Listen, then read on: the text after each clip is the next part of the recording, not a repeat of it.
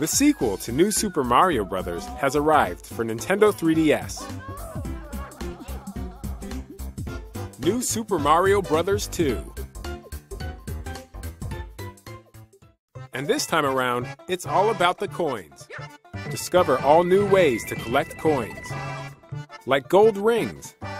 Touching a gold ring will turn all of your enemies into gold, and you'll get coins for defeating them.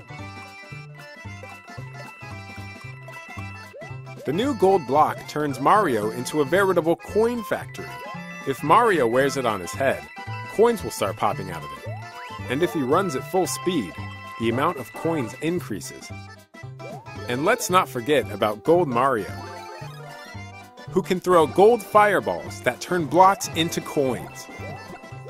But that's just the beginning. There are many more coin related items and features that can be found throughout the game.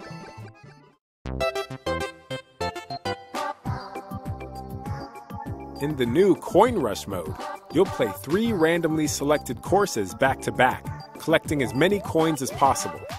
You'll need to use all of your coin collecting and speedrunning skills to come out on top.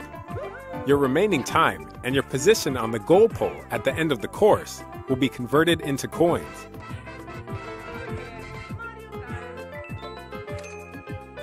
Once you've completed your coin rush, you can save your record and share it with other players via Street Pass. Records received through Street Pass can then be challenged.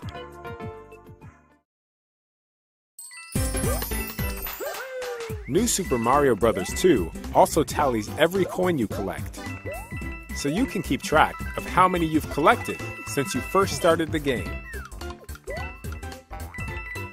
Do you have what it takes to collect 1 million coins? Good luck!